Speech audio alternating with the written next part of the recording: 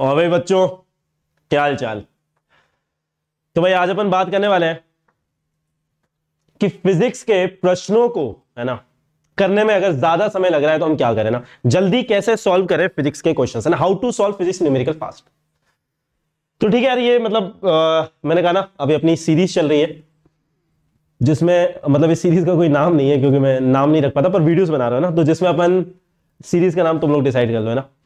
तो जिसमें अपन बात करें ना, जो जो जनरल क्वेरीज होती हैं मतलब सबसे ज़्यादा पूछे जाने वाली क्वेरीज क्योंकि मैं हर मंथ में अराउंड ट्वेंटी फ्री सेशंस लेता हूँ। आस्क मी एनीथिंग सेशन है ना, जिसमें पूरे इंडिया से कोई भी नीट और जेई एस्पायर के अपनी कोई भी क्वेरीज पूछ सकते हैं ना, कोई भी आके पूछ सकता है। ये सेशंस अन अकेडमी पे होते हैं ना।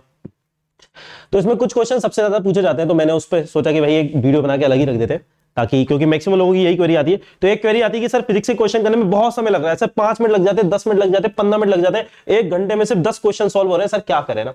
तो ठीक है, इस समस्या की अपन बात करेंगे और ये एक्चुअल में समस्या है भी या नहीं और मतलब ठीक है, जो भी है ना, बात करेंगे। चलो यार स्टार्ट करते हैं सेशन फिर, है ना? तो देखो, सबसे पहले तो भाई सेशन स्टार्ट करने से पहले, जिन भी लोगों ने, जो भी आत्माएँ यहाँ पे नहीं है ना, भूली भटकी आई हुई है, जिन्होंने अभी तक फिजिक्स हॉलिक्स को सब्सक्राइब नहीं करा है तो फिजिक्स हॉलिक्स को सब्सक्राइब कर लेना। यहाँ पे बहुत कुछ है भाई हमारे यूट्यूब चैनल पे, जो तुम खुद चेक कर सकते हो भाई, है ना? इसके अलावा फिजिक्स हॉलिक्स की वेबसाइट पे ज़रूर देख लेना ना? यहाँ पे हमने पूरा कोटा का जो मटेरियल है ना, नीट का और जेई दोनों का, है ना? उस मटेरियल को पहले तो मॉडिफाई कर दिया है, नए नए पेपर पैटर्न के हिसाब से, उसमें जो एरर्स थे उनको करेक्ट कर दिया है ना? और उनके प्रॉपर सारे डीपीपीज मटेरियल मॉड्यूल शीट वगैरह सब कुछ, है ना?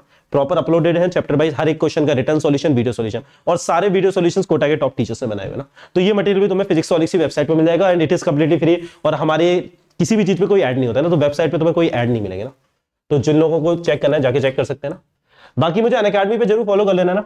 चाहे तुम आई टी की तैयारी करो चाहे तुम नीट की प्रिपरेशन करो मेरे बैचेस दोनों में और सारे बैचेस कोटा के बेस्ट टीचर्स के साथ होते हैं ना। तो उसको फॉलो कर सकते हो अन अकेडमी जाके। अन अकेडमी पे जाओगे, मैं तुम्हें टॉप पे दिख जाऊँगा ना। ठीक है? तो फॉलो कर लेना, नहीं तो लिंक ये जितनी भी चीज़ है ना, इन सब की लिंक्स भी डिस्क्रिप्शन में डली हुई है। उसी के साथ साथ टेलीग्राम पे ज़रूर फॉलो कर लेना भैया ना। क्योंकि जितने भी लेटेस्ट अपडेट्स होते हैं, जो भी न्यूज़ होती है ना, जैसे मेरे कौन से नए बैचेस आने वाले हैं जनवरी में भी, है ना? नीट के लिए जेई के लिए, या फिर अभी जो भी 2022 के लिए 2023 एस्पायरेंट के लिए 2024 एस्पायरेंट के लिए क्या आने वाला है? कौन सी फ्री सीरीज़ आ रही है है ना? उन सबके अपडेट्स तुम्हें यहीं पे मिलते हैं। अभी क्या चल रहा है? मटेरियल वगैरह मतलब सारे के सारे अपडेट्स मिलते, यहीं मिलते हैं ना? तो नीट के बच्चों का अलग चैनल है, NEET underscore physics I JEE के बच्चों का अलग चैनल है I JEE under score physics जिस भी एग्ज़ाम की प्रिपरेशन कर रहे हो अकॉर्डिंगली ज्वाइन कर लेना। इसकी लिंक्स भी तुम्हें डिस्क्रिप्शन में मिल जाएगी लिंक पे क्लिक करोगे, सीधा पहुँच जाओगे ना? तो टाइप वाइप करने की ज़रूरत नहीं है ना, क्योंकि मेहनत तुम वैसे भी नहीं करने वाले थे। तो भाई है ना? हाँ। तो ठीक है, इसी के साथ साथ मेरी जो भी फ्री लाइव क्लासेस होती है, मैंने कहा ना कि तुम मुझसे डायरेक्टली भी इंटरेक्ट कर सकते हो ना? तो हर मंथ में around twenty free live classes होती है। ये generally ask me anything session होते हैं ना, जहाँ पे तुम नीट और जेई से रिलेटेड अपनी कोई भी क्वेरी पूछ सकते हो ना? तो उसकी भी कब कौन सी क्लास होगी, क्योंकि टाइम की क्लासेस वेरिएबल होती है डिपेंडिंग ऑन माई स्केड्यूल तो वो सारी भी तुम्हें यहीं पे मिलेंगी लिंक्स है ना? तो इसलिए टेलीग्राम को ज्वाइन कर लेना। चलो स्टार्ट करते हैं, और जो लोग इंस्टाग्राम पे वो यहाँ पे फॉलो कर सकते हैं ना। इसी के साथ जिन बच्चों ने डिसाइड कर लिया है कि भाई उनको फिजिक्स मुझसे ही पढ़ना है तो वो लोग अन अकेडमी पे आके मुझसे पढ़ सकते हैं डायरेक्टली ना अन अकेडमी प्लस पे आके। तो अगर तुम लोग अन अकेडमी प्लस का सब्सक्रिप्शन लेना चाहते हो तो मेरा रेफरल कोड है फिजिक्स लाइव है ना? इसको यूज़ करने से तुम्हें पूरे ना नीट का सब्सक्रिप्शन लोगे तो फिजिक्स केमिस्ट्री बायो तीनों सब्जेक्ट का हंड्रेड परसेंट एक्सेस मिलेगा। आईआईटी जेई का सब्सक्रिप्शन लोगे तो फिजिक्स केमिस्ट्री मैथ्स का पूरा हंड्रेड परसेंट एक्सेस मिलेगा ना, ठीक है? And this is my Telegram ID है ना? तो जो भी बच्चे फिजिक्स लाइव कोड यूज़ करके अकेडमी प्लस का सब्सक्रिप्शन लेंगे, मुझे टेलीग्राम पर मैसेज कर देना। This is my Telegram ID है ना? पीजे सर अकेडमी है ना? और मैसेज कर देना कि, सर, हमने आपका कोड यूज़ करके सब्सक्रिप्शन है please take me under guidance उसके साथ में तुम्हें डाउट ग्रुप वगैरह सारी जगह, हर जगह ऐड कर दूँगा। तुम्हारी जो भी सिचुएशन है, उसके हिसाब से तुम्हारे लिए कौन सा बेस्ट सही होगा, तुम्हें क्या करना चाहिए, क्या नहीं करना चाहिए, वो सारी चीज़ों में गाइड कर दूँगा। अगर किसी को सब्सक्रिप्शन लेने से पहले कोई क्वेरी है तो भी मैसेज कर सकते हो ना। सब्सक्रिप्शन तभी लेना जब हंड्रेड श्योर हो जाओ। और इससे तुम्हें टेन ऑफ़ भी मिलेगा ना। और याद रखना ऑफर्स भी अकेडमी पे बहुत सारे आते रहते हैं ना, कभी टेन परसेंट कभी ट्वेंटी परसेंट वगैरह भी ऑफ़ हो जाता है। तो उसके अपडेट्स वगैरह भी टेलीग्राम पे मिलते हैं, इसलिए टेलीग्राम ज्वाइन कर लेना। ये टेलीग्राम चैनल है ना, ये टेलीग्राम की पर्सनल आइडिया चलो स्टार्ट करते हैं सेशन ना, कि भाई अगर भौतिक शास्त्र में, है ना, प्रश्नों को करने में बहुत ज़्यादा समय लग रहा है, कि भाई एक घंटे में सिर्फ़ छह, पाँच, दस, पंद्रह, इतने ही प्रश्न हो पा रहे हैं तो क्या करें? क्योंकि एग्ज़ाम में तो यार, अगर जेई एग्ज़ाम देने वाले हैं तो अराउंड ट्वेंटी क्वेश्चन तीस में से ना। अगर अपन अपना नीट देने वाले हैं तो पैंतालीस क्वेश्चन करने पचास में से। एडवांस में जा रहे हो तो अठारह करने ना। तो यार, अभी अगर हमसे पाँच या दस क्वेश्चन कर पा रहे हैं तो एग्ज़ाम में जाके इतने सारे क्वेश्चन कैसे करेंगे? बड़े परेशान है बच्चे बहुत सारी क्वेरीज आती है। चलो, बात करते हैं ना। सबसे पहले तो ध्यान रखना भाई, अपन रियलिस्टिक बातें करने वाले हैं ना। तो ज़रूरी नहीं है कि मैं वो बोलूँगा जो तुम सुनना चाहते हो, मैं वो बोलूँगा जो एक्चुअल में रियलिटी है है ना? तो उसके लिए तैयार है ना? खैर, अगर मुझे फॉलो कर रही ये बातें तो तुम्हें पता ही होंगी। तो सबसे पहली बात समझो ना। आई थिंक बहुत से बच्चे ऐसे होंगे क्योंकि अभी इलेवन में पढ़ रहे हो या ट्वेल्थ में पढ़ रहे हो या ड्रॉपर में हो गए ना? अभी जो समय है जनरली तुम रिवीजन नहीं कर रहे हो, तुम उन चीज़ों को पहली बार पढ़ रहे हो ना? इलेवन ट्वेल्थ वाले तो पहली बार पढ़ रहे होंगे ना? जो ड्रॉपर होंगे, हो सकता है उन्होंने पहले स्कूल वगैरह में पढ़ा हो उस चीज़ को, या फिर किसी नॉर्मल कोचिंग में, पर उतने अच्छे से नहीं पढ़ा होगा। तो जो भी चीज़ तुम पढ़ रहे हो तो ऐसा फील हो रहा होगा कि हम हर चीज़ पहली बार पढ़ रहे हैं ना? तो वो फीलिंग गलत नहीं है, तुम एक्चुअल में पहली बार पढ़ रहे हो ना? अब एक चीज़ समझो यार, है ना? जो तुम स्पीड की बात कर रहे हो ना कि सर एक घंटे में सिर्फ़ दस ही क्वेश्चन होते हैं कभी कभी कोई क्वेश्चन करने में दस मिनट भी लग जाता है ना? पाँच मिनट भी लग जाता है ना? तो अभी दस क्वेश्चन हो रहे हैं, पंद्रह क्वेश्चन हो रहे तो एग्ज़ाम में फिर इतने सारे क्वेश्चन हम कैसे कर पाएँगे? एक चीज़ बताओ, जब तुमने भाई साइकिल चलाना सीखी थी, है ना? जब बिल्कुल पहला दिन था तुम्हारा साइकिल चलाने का ना, पहली बार तुम बैठे थे, तुम भगाने लगे थे क्या पहले दिन से? तुमने भगाना चालू कर दिए थे क्या पहले दिन से साइकिल मुझे एक चीज़ बताओ ना, फिर तुम्हें उस दिन ऐसा लगा था कि अगर अभी मैं नहीं चला पा रहा तो फ्यूचर में कैसे चलाऊँगा? लगा होगा, पर अब जो लोग जिनको आती है मान के चल रहा हूँ, आती होगी साइकिल चलाना तो ना तो जिनको साइकिल चलाना आती है वो लोग चला लेते हैं ना, मस्त स्पीड में चला लेते हैं ना कोई दिक्कत नहीं होता, अब यूँ यूँ, तिरछा भी कर लेते हैं, तब भी नहीं करते हैं ना। टर्न मान लेते हैं कुछ भी कर लेते हैं खेलते हैं उसके साथ, है ना? नहीं होता ना? और स्पीड में भगा भी लेते ना? क्यों? क्योंकि तुमने जब स्टार्टिंग में प्रैक्टिस करी थी तुम बार बार गिरे थे, फिर तुम धीरे धीरे चलाना सीखे, फिर तुम प्रैक्टिस करते गए, चलाया, मज़ा आया, फिर धीरे धीरे तुम्हारी स्पीड बढ़ गई ना? तो एग्जैक्टली सेम चीज़ होती है जब हम क्वेश्चन सोल्व कर रहे होते किसी भी चीज़ में, या फिर कोई भी नई चीज़ सीख रहे होते हैं। It is not just related to I T और नीट या फिर फिजिक्स कोई भी नई चीज़ सीख रहे होते हैं। स्टार्टिंग में तुम्हें समय ज़्यादा लगता है। This is something very obvious मुझे नहीं पता कि तुमको इस तरह की क्वेरी अभी अभी कैसे सकती है कि, सर, अभी अगर मैं एक घंटे में दस कर रहा हूँ तो एग्ज़ाम में कैसे करूँगा? यार, अभी तू पहली बार कर रहा है इस चैप्टर को, तूने पहली बार पढ़ा है तो ऑब्वियसली तुझे समय लगेगा। इस चीज़ को बहुत अच्छे से समझो यार। बात यह नहीं कि तुम छह महीने हो गए तुम्हें। अरे, हर छह महीने में, हर पंद्रह दिन में हमारा नया टॉपिक स्टार्ट हो रहा है, नया चैप्टर स्टार्ट हो रहा है। और हर चैप्टर अपने आप में नया है। तो हाँ हर चैप्टर में स्टार्टिंग में जब तुम करोगे तुम्हें समय ज़्यादा लगेगा और उसमें कुछ भी गलत नहीं है। और उसमें कुछ भी गलत नहीं है, समझो, है ना? और स्टार्टिंग में जब देखो कोई भी नया चैप्टर चालू है मान लो रोटेशनल चालू हुआ, है ना? तो स्टार्टिंग में ज़्यादा जल्दबाजी मत करो। जब तक तुम एटलीस्ट सौ क्वेश्चन खुद से सॉल्व ना कर लो ना मतलब नोट्स में जो टीचर ने क्वेश्चन कराए वो सब अलग।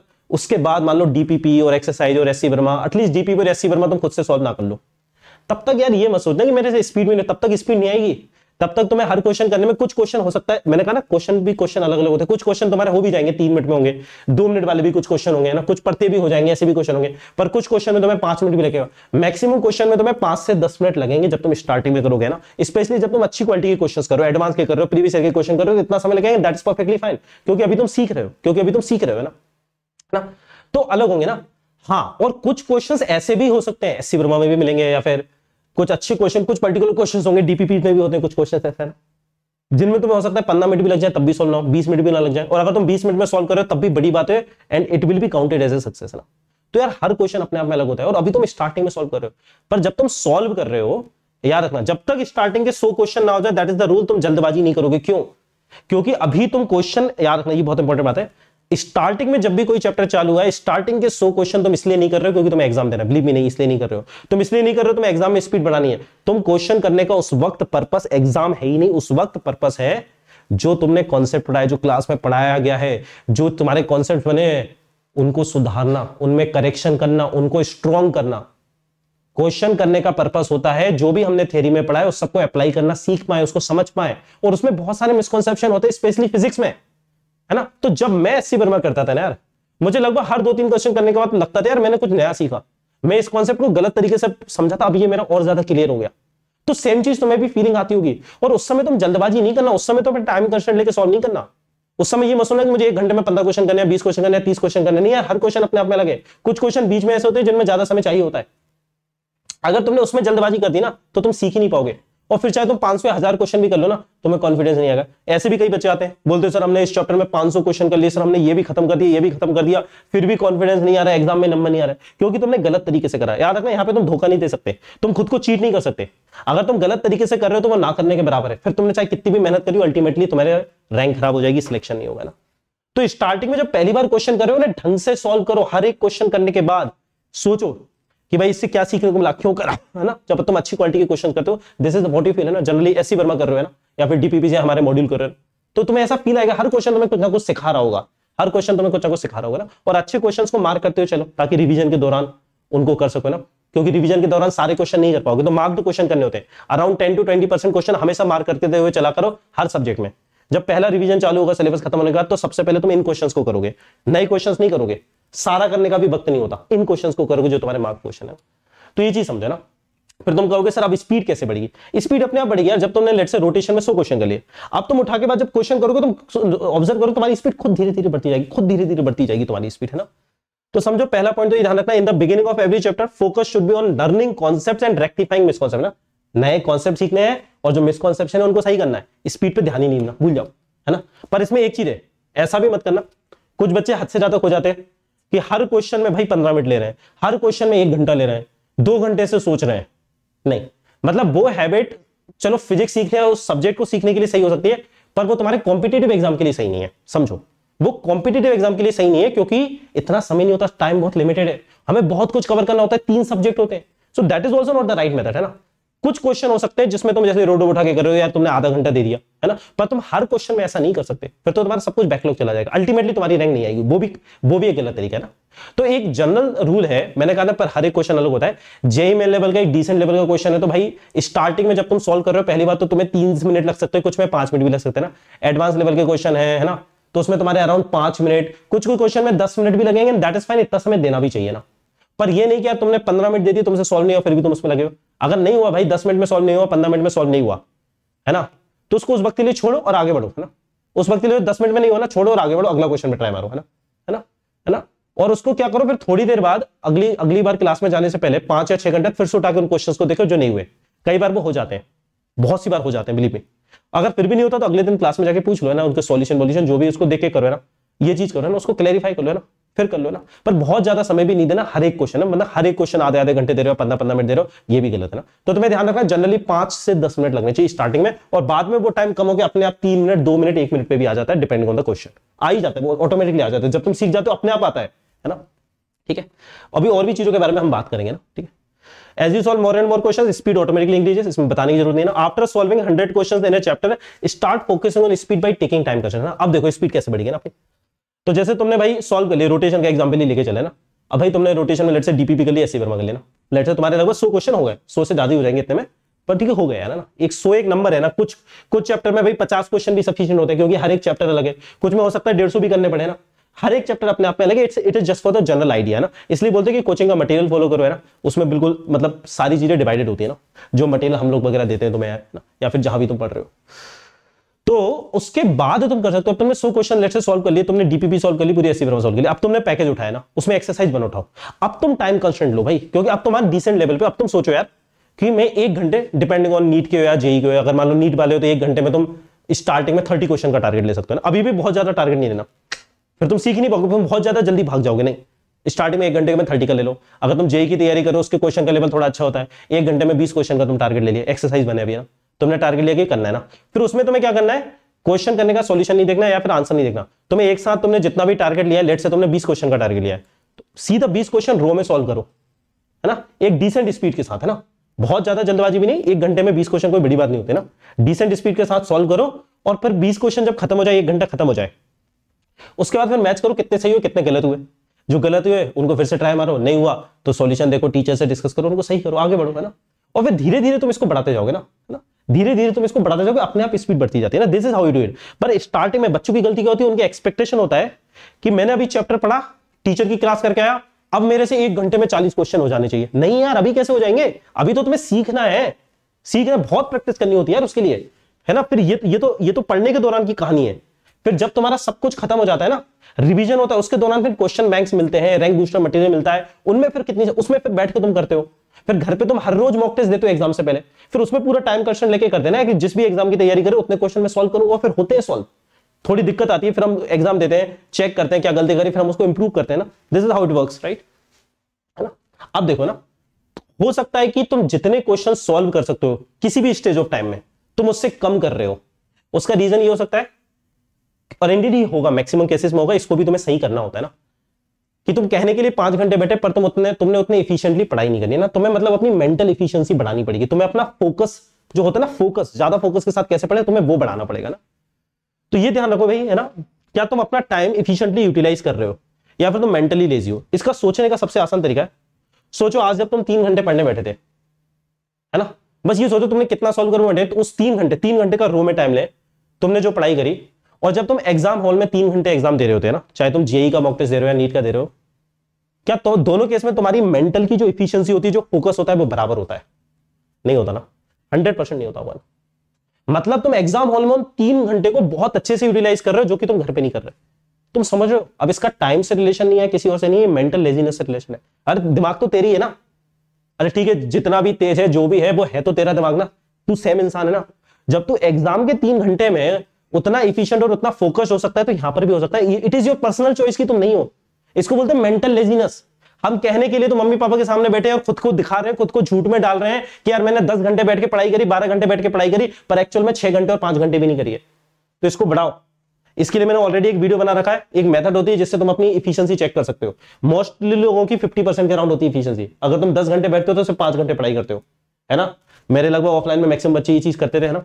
और तुम्हें इसको इंक्रीज करना है सेवेंटी टू एटी परसेंट तक लेके जाना है। इस पर मैंने ऑलरेडी वीडियो बना रखा है।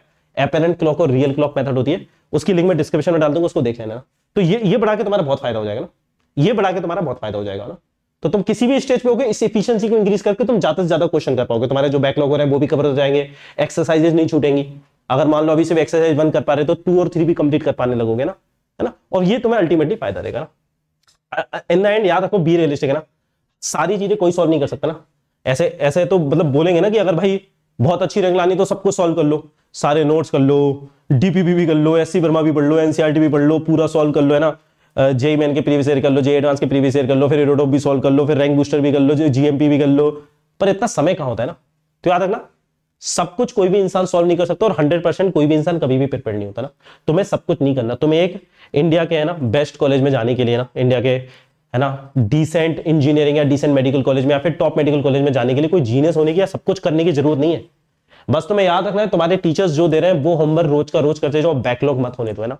एक प्रायोरिटाइज कर लो वर्क को, है ना? एक प्रायोरिटी ऑर्डर होता है, मुझे इस ऑर्डर में जाना है, सब कुछ कोई खत्म नहीं कर पाएगा। पर एक प्रायोरिटी ऑर्डर में रखो कि सबसे पहले ये ये ये और इतना मुझे मिनिमम खत्म करना है। जैसे मैं फिजिक्स के लिए तुम्हें जनरली बता सकता हूँ ना, कि सबसे पहले प्रायोरिटी पे आ जाते हैं तुम्हारे नोट्स वो तुम्हें खत्म करना ही करना है। ठीक है? वो छोड़ने नहीं, किसी को भी नहीं छोड़ने उसके बाद आती है डीपीपी हर रोज जो मिल रही है, ये मिनिमम लेवल बताओ, इतना खत्म करना है। उसके बाद है ना एस सी वर्मा अगर जेई के एस्पायरेंट हो तो एस सी वर्मा करनी करनी है। नीट के बच्चे भी जो अच्छा कॉलेज चाहते हैं, वो कर सकते हैं। नहीं तो एक्सरसाइज बने ना है ना? जो तुम्हारा मॉड्यूल है, उसकी एक्सरसाइज इतना तो सब लोग खत्म करो। अगर तुम इतना खत्म नहीं कर पा रहे हो ना तो याद रखना, फिर दिक्कत सिर्फ़ तुम्हारी तरफ़ से चल रही कहीं और से नहीं। ये मिनिमम मैं बता रहा हूँ ये नहीं कह रहा कि इतना करके छोड़ दो। अगर समय बचा रहा तो फालतू बैठे रहो। ये तो मिनिमम है, ये प्रायोरिटी लेवल बता रहा हूँ। है ना? जो मॉड्यूल उसके एक्सरसाइज बन तक इतना तो सब खत्म कर सकते हैं। नहीं हो रहा तो तुम्हारी तरफ़ से डेफिनेटली थोड़ी बहुत नहीं, बहुत सारी जगह तुम लूप होल्स छोड़ के रखो जिनको फिल करा जा सकता है, उनको करो। नहीं करोगे तो फिर नहीं होगा सिलेक्शन है ना? नहीं होगा सिलेक्शन ना उसको खत्म करो। और ये होती है exercise two exercise three target तो होना चाहिए और इंडियन जो, जिन बच्चों का जनरली सिलेक्शन होता है, वो जनरली करते हैं इतना खत्म, है ना? नोट्स डीपीपी और पूरा मॉड्यूल ये खत्म करो। फिर जब रिवीजन का टाइम आएगा तो क्वेश्चन बैंक करेंगे ना? मार्क्ड क्वेश्चन करेंगे, है ना? प्रीवियस ईयर के क्वेश्चन जैसे मैं तो क्लास के अंदर करा देता हूँ ना? तो एटलीस्ट कोशिश करो कि बहुत सारे प्रीवियस ईयर के क्वेश्चन अभी खत्म करते हुए चलो ना? उनको एंड के लिए मत छोड़ना। कई बार एंड में समय नहीं मिल पाता। एग्ज़ाम आ जाता है, फिर समय नहीं मिल पाता ना? तो खत्म करते हुए करे चलो ना? तो नीट के बच्चे एटलीस्ट नीट के लास्ट टेन ईयर्स के क्वेश्चन तो अभी खत्म करते हुए चलो। मैं तो भाई क्लास में पूरी कराता हूँ, जो मेरे स्टूडेंट है ना? जो जेई वाले, वो जेई के मैन के तो एटलीस्ट खत्म करते हुए चलो, फिर एडवांस के भी बाद में करना है। ऑल भाई, कोशिश ये करनी चाहिए, जितना ज़्यादा खत्म कर सको, उतना खत्म करो। रोक, रोकना नहीं है तुम्हें अपने आप को। तुम्हारी जितनी कैपेसिटी अपने आप को खींचो मत। हमेशा पुश करते रहो।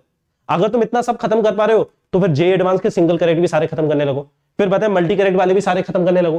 पुश करते रहो अपने आप को, है ना? मतलब तुम्हारे पास जितना समय है, तुम्हें उसे बेस्ट पॉसिबल में यूटिलाइज करना है और तुम जितना करोगे, उतना ज़्यादा तुम्हारी रैंक इंप्रूव करेगी ध्यान रखना। है ना? इसमें कोई ऐसा रूल नहीं कि इतना कर लोगे तो इतनी रैंक आ जाएगी। ये क्वेश्चन भी बहुत घटिया होते हैं कि मुझे अगर अंडर हंड्रेड लाना है तो कितना करना है? अंडर थाउज़ेंड लाना है, कितना करना ऐसा कुछ नहीं है।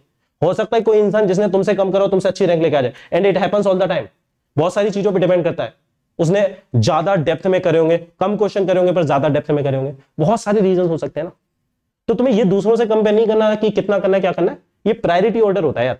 तुम जितना कर सकते हो, उतना अपने आप को पुश करो। एटलीस्ट मिनिमम लेवल पे तो हर एक बच्चे को खत्म करना है। अगर तुम मिनिमम लेवल पे भी खत्म करो ना, तुम्हारा सिलेक्शन हो जाएगा। और तुम उसके बाद जितना ज़्यादा करोगे, उतनी ज़्यादा तुम्हारी रैंक इंप्रूव करेगी। तो I hope it clarifies how to solve physics chemical fast है ना? इसमें बहुत सारे रूपों से पहले तो यहाँ पे एक्सपेक्टेशन में भी गलती थी ना। स्टार्टिंग में फास्ट नहीं करने एंड में फास्ट करने, जब रिवीजन करेंगे तब बहुत जल्दी जल्दी करने। धीरे धीरे स्पीड बढ़ानी है ना, ठीक है? तो ठीक है इस सेशन को फिर अपन एंड करते हैं। इसके अलावा अगर और भी कोई क्वेरी हो तो मेरे बहुत सारे आसमी एनीथिंग सेशन होते हैं ना, वो कंप्लीटली फ्री होते हैं अन अकेडमी पे होते हैं।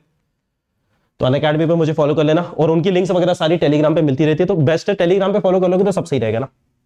है ना? मैंने कहा ना, हर अल्टरनेट होता है मंथ में अराउंड ट्वेंटी ऐसे सेशन होते हैं कंप्लीटली फ्री कोई भी आ सकता है। तुम्हारी जो भी क्वेरी आके पूछ सकते हो, है ना? और इसके अलावा भी इस सेशन में अगर कुछ मिस हो गया है, फिर तो कुछ अलग है, तुम कमेंट सेक्शन में भी पूछ सकते हो ना। आई ट्राई टू आंसर है ना? और बाकी जो बच्चे प्रॉपरली मुझसे पढ़ना चाहते हैं अकेडमी प्लस पे आके, और कोटा के बेस्ट टीचर से पढ़ना चाहते हैं, वो लोग अन अकेडमी प्लस ज्वाइन कर सकते हैं। My referral code is physics live अगर तुम्हें मुझसे पढ़ना अच्छा लगता है तो मेरा कोड यूज़ कर सकते हो, मेरी आईडी है है ना? अगर मेरा कोड यूज़ कर रहे हो तो यूज़ करने के मुझे टेलीग्राम पे मैसेज ज़रूर कर देना, इस आईडी पे ना? ठीक है? और अगर सब्सक्रिप्शन लेने से पहले कोई क्वेरी है तो मुझसे पूछ सकते हो, ठीक है? चलो, ठीक है बाबा गए सी यू है ना? और भाई इस सेशन को शेयर कर देना, जो भी तुम्हारे अच्छे दोस्त वगैरह हैं, जो पढ़ाई के लिए सीरियस है और इस तरीके की प्रॉब्लम फेस कर रहे हैं ना? ठीक है बाबा गए सी यू बाय